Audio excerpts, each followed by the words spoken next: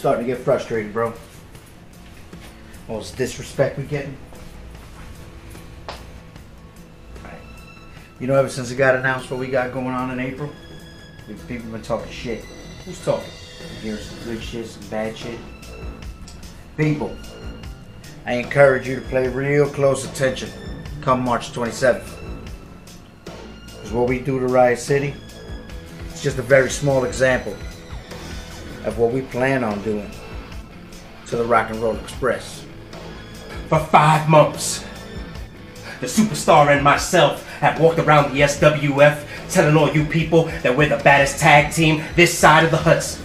But it just so happens that there's another tag team with the desire to be recognized as Jersey's resident outlaws. That team, Riot City's Most Wanted. A team my brother and I got business going all the way back to the SWF's return. Now, I told you boys before that I respect your attitude.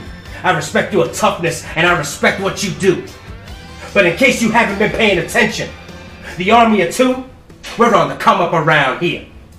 And unfortunately for you, on March 27th, when you get in the ring with the premier tag team on the scene, Riot City's Most Wanted will merely serve as the most recent stepping stone in what will come to be known as the year of the Zoltan.